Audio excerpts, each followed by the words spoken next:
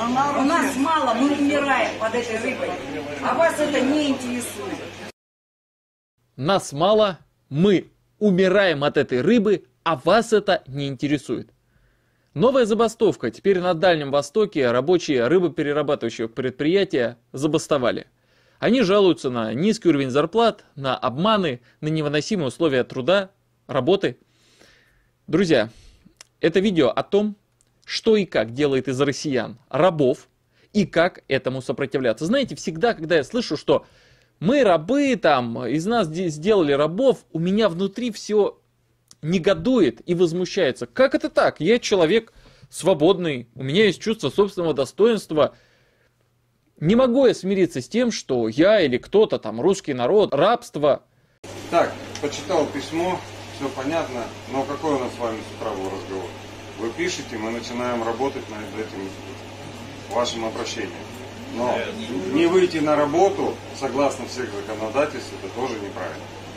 Вы должны предупредить, согласно законодательству, предупреждайте за три дня до того, что вы отказываетесь от выхода на работу, отрабатываете три дня, через три дня вы спокойно не выходите на работу э, в ожидании, пока не решится вопрос.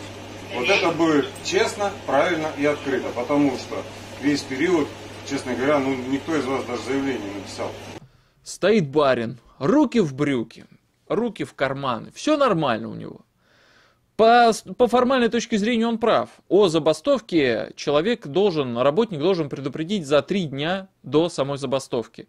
Три дня он дорабатывает, после этого имеет право не выйти на работу, проявить свое неповиновение и так далее и тому подобное. И в то же время, что усугубляет, я бы сказал, вину работников, он говорит о том, что за все время заявлений не было от работников.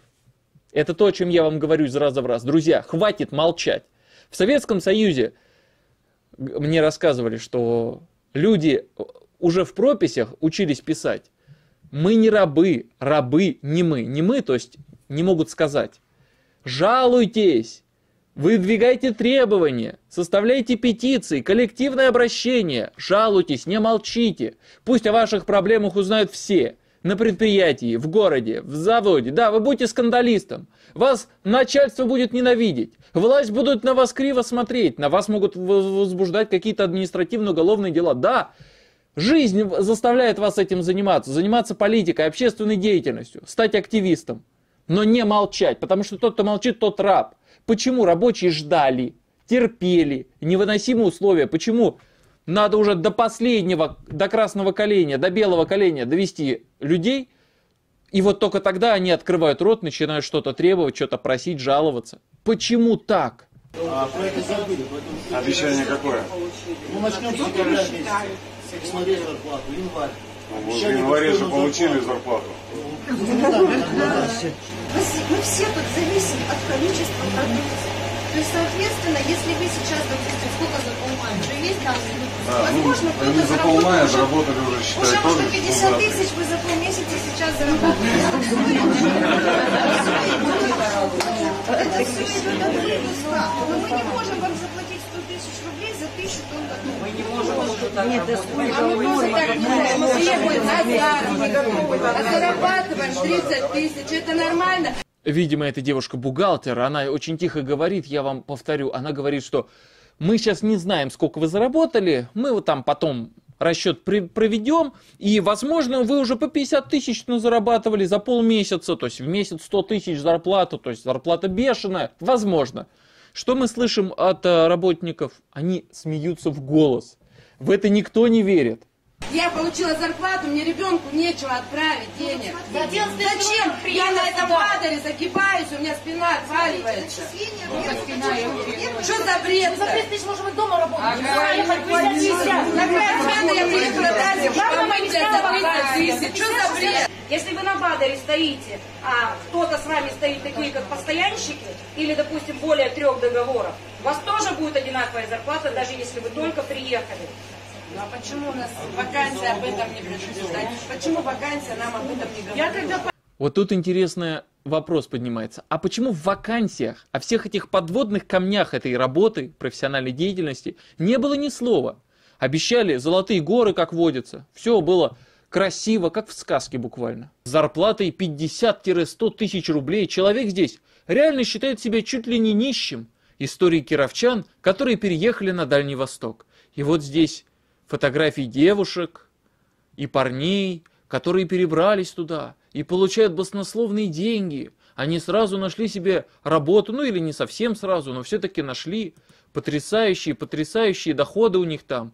Приезжайте, ребята, на Дальний Восток, там вас ждут золотые горы, там вас ждет замечательная, прекрасная, безоблачная жизнь. А вот еще моя работа на Дальнем Востоке. Решилась на вахту раздельщицы рыбы. Дом не вижу, зато при деньгах и с работой. Вот видно, молодая, здоровая, даже симпатичная женщина.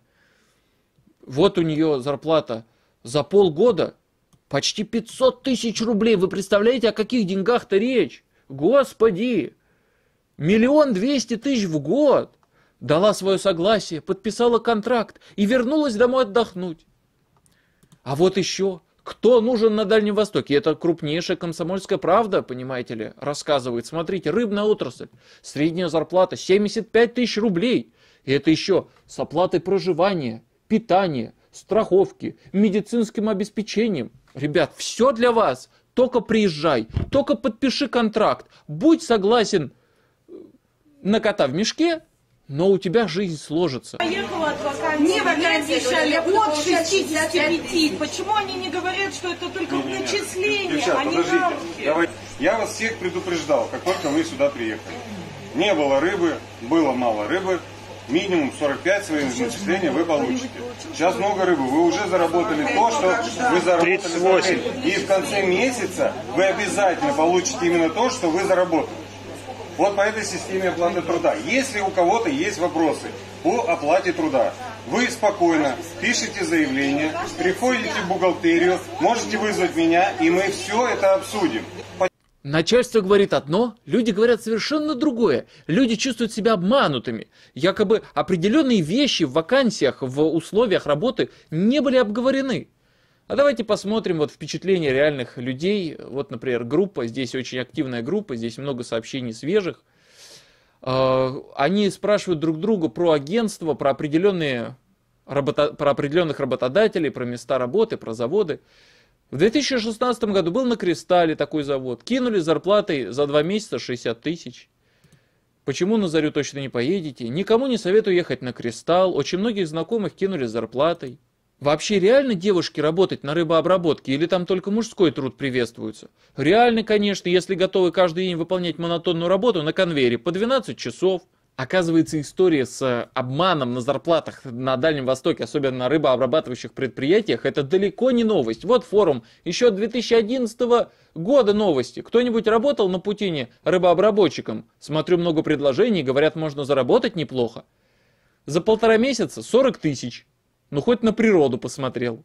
Работала в Охотском, на свободном. Проживание там хорошее, кормят бесплатно три раза в день, каждый день баня, море под боком, свежий воздух, работает 12 часов, через 12. Но много нереально заработать. Да и от рыбы тоже все зависит. Не едет никто на Путину с материка, ни на Сахалин, ни на Курилы. Какую бы зарплату не предлагали. А если правда, везде кидалово, проверено. Приходишь, интересуешься заработком, говорят 80 тысяч в месяц. Это еще в 2011 году было. Задаешь вопрос, трудовой договор с указанием суммы заключать будем? Если да, то трудоустраиваешься. Если что-то иное, спроси саму себя, какие у тебя основания верить кому-то на слово. Короче говоря, очень много историй о том, что людей обманывают зарплатами, что на вахте, что на рыбообрабатывающих предприятиях. В то же время в интернете полно проплаченных заказных статей, чтобы обмануть людей чтобы приманить их красивыми историями. Выяснил, сколько зарабатывают обычные рабочие на заводе по производству красной икры на Камчатке. Ой, люди здесь показаны. Смотрите, какое у них замечательное обеспечение. Прям все красиво, как в кино. И красной икры-то сколько можно есть, просто наедаться. Прям вот в горло потом лезть не будет эта красная икра. Уж сколько ее. И проживание достойное. Все замечательно. Тяжело, конечно. Но это хоть деньги, не то что дома, за копейки корячатся. Короче, приезжайте на Камчатку, а комментарии почитаем. Много проплаченных сразу идут комментариев. С накрученными лайками. А потом ниже видим. Не верьте, люди. Статья заказная.